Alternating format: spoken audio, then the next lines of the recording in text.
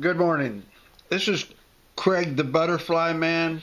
If you're interested in finding out about me, just Google Craig, C R A I G, the Butterfly Man.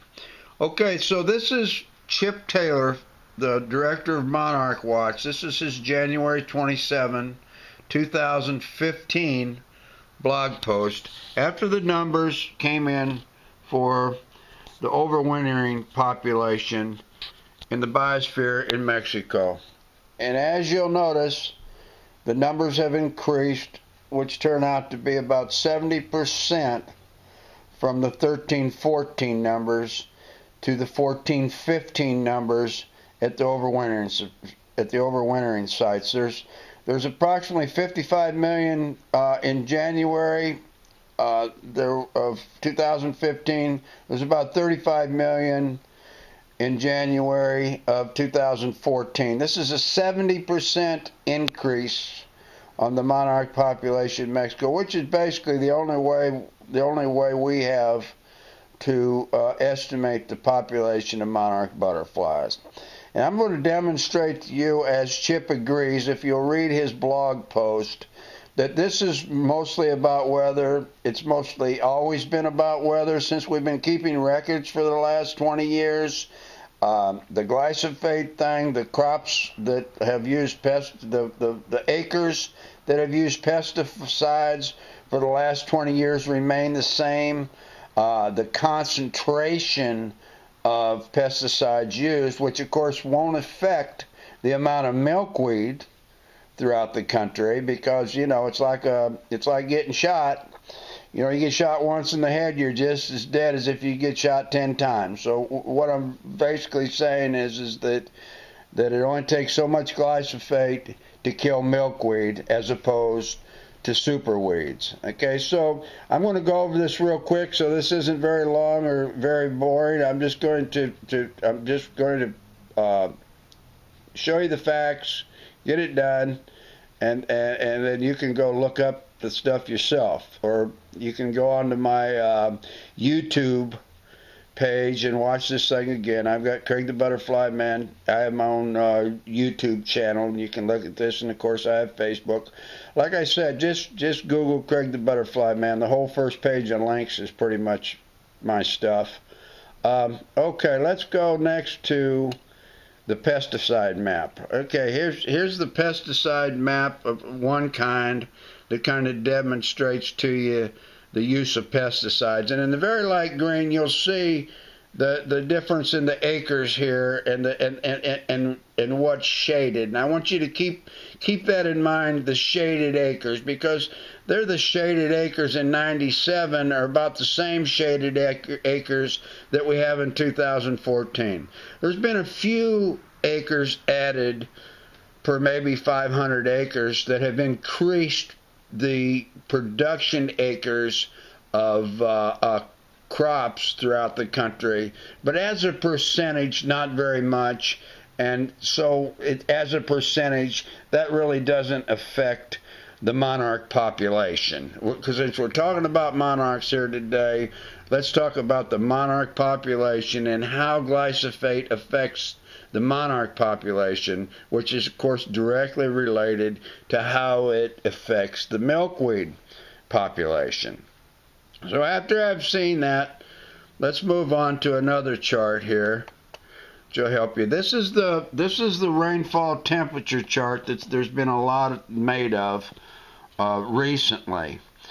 Uh, the Texas drought is the biggest contributing factor to the decline of the monarch populations in Mexico since 2009. We've had the worst drought in recorded history of the state of Texas that started in 09 and finished in probably 2013 during the season of 2013 started finishing up and in 2014 the milkweed in the state of Texas started recovering significantly, which is why the numbers at the overwintering sites uh, in January of 2015 increased 70%.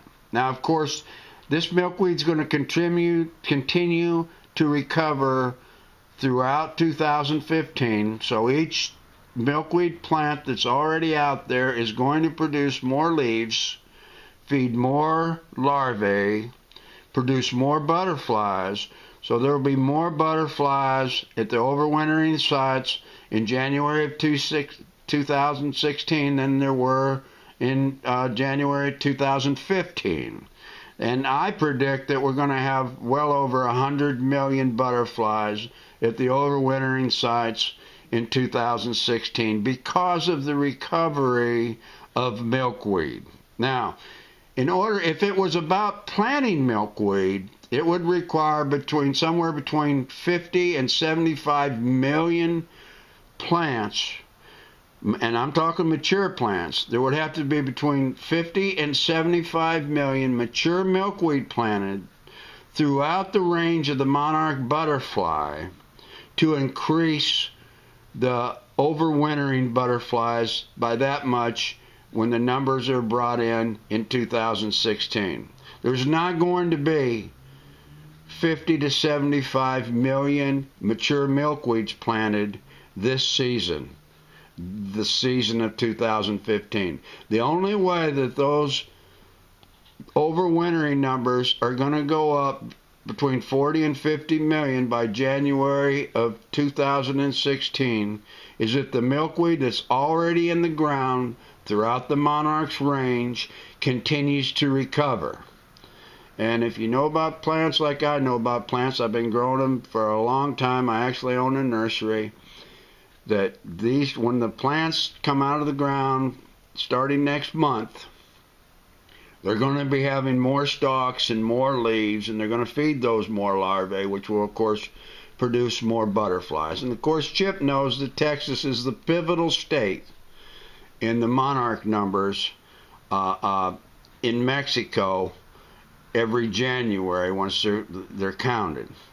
So let's move on into this a little bit more. I'm going to demonstrate something else to you that, that'll help you to, to, to understand kind of what's going on. The, the, the reason I showed you this graph is so that you, when you look at this graph, and you'll find this on my site, and you can look at it better yourself when you get ready. But this little this little thing up here is the 2011 drought. Okay, and the farther you get into the upper left-hand corner of this graph is the worst conditions. It's the higher temperature with no rain. And if you'll notice, 2011 is completely removed from all these other years that you see in here as far as temperature and lack of rain. It's the worst in recorded history. 2011 was the worst year in recorded history for high temperatures and low rainfall, which basically devastated the native milkweeds throughout the state of Texas. And, and, and, and even the taproots died down an inch or two below the surface during this drought. There's never been anything that's happened like this before. And of course, this is going to be reflected in the numbers at the overwintering sites, as well as the increase in 2015 that's, that can be attributed to the recovery of those same milkweeds in 2014. I know I'm repeating myself a little bit, but it's very important that you understand that particular part of this thing. Now, there's some things here. There's some things here that's going on that I want you to be aware of. That you know a lot of people aren't going to tell you because you you're not really hearing much about this this this uh, native milkweed recovery in the state of Texas anyway. That it's the existing plants that are actually causing the increase, and that's what caused the the the 70% increase last year. The petition filed and accepted by Fish and Wildlife, and it was accepted in December of 2014 before these 2015 numbers were in. I don't know whether they knew it, but they should have waited until the 2015 numbers were in before they are started considering the monarch to be listed as threatened or endangered. Uh, now, there's a procedure that has to be followed here with the, the, the listing procedure, and that is that there should be a 12 month period in which they're reviewing to, to, to decide if they're going to list this as threatened. Now, they're, they're, they're, they may circumvent this procedure. I'm waiting to see because it's early. But if they'll wait until after the 2016 numbers are in, they're going to find that the monarch numbers in Mexico continue to rise significantly. And like I said before, we're not, I don't care how many people get involved in this, they're not going to be able to plant enough milkweed during the 2015 season to have the numbers overwintering in Mexico rise to the numbers that I'm predicting they'll be. And this is a lot of what I'm saying is going to hinge on the prediction I'm making. And and Chip knows this. You go back to Chip's blog page. He believes that the numbers are going to continue and will increase this year. But it's going to be a weather thing. It's not going to be about planting milkweed. It's going to be a weather thing. I'm going to cut this short. I'm not going to keep going into this, but I've got a lot more information for you, and I can help you out, let you know, and, and, and I want to further promote this. I want you to, uh, I'm asking you that you get this video out to everybody you know that's interested in um, monarch butterflies and, and the recovery of and, and, and the beauty of the monarch butterflies. We don't really want this butterfly listed as threatened or endangered because it's not. The monarch butterfly is going to be fine. There's plenty of butterflies. The migration's not in danger. There's this is this. There's a lot of reasons that the, the, the, the monarch butterfly is trying to be listed as threatened or endangered by people with very a lot of different motives. And I, I, am hoping you that are watching this will consider listening to somebody like Chip Taylor and myself that's been involved in this for a long time. And Chip has no ulterior motives, and neither do I. I just want to see the butterfly flourish. And, and, and, and I want everybody to be able to enjoy the butterfly. I don't want the restrictions put on the butterfly that listing it as a threatened or endangered uh, species would involve.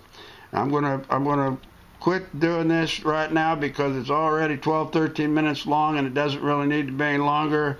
I, I, I just want you to understand that that that's why I put this video out today. Thank you very much. Craig the Butterfly Man, like I said, just Google me, like my Facebook page, and I'll keep you informed. I have no ulterior motives, I, and, and, and I'd like to have you get the facts. Thank you very much.